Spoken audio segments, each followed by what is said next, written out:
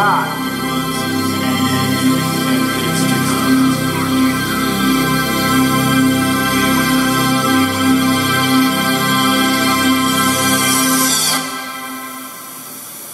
For me to live is Christ.